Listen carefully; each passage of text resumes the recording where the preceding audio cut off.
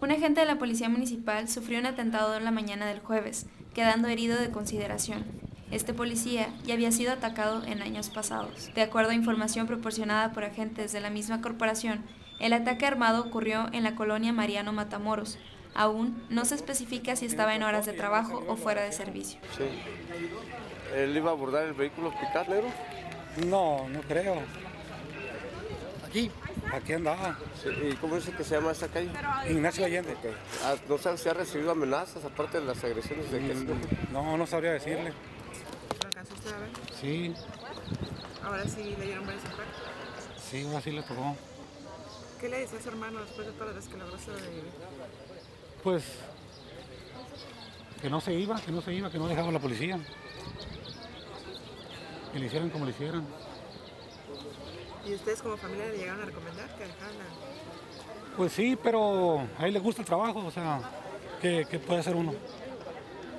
Es la cosa. ¿Estaba solo? ¿Estaba su familia ahí? Estaba solo. ¿Iba a salir a trabajar o había llegado anoche? Pues había llegado, se me hace, ¿no?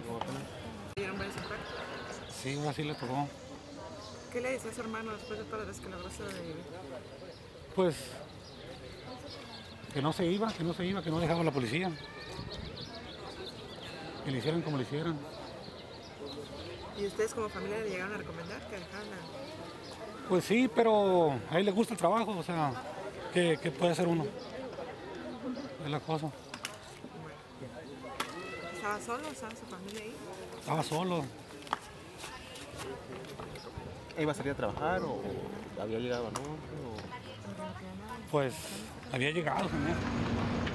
Se dio a conocer que el agente, identificado como Jesús Alberto Hurtado Estrada, fue atendido por paramédicos de la Cruz Roja y fue trasladado a un hospital de la localidad.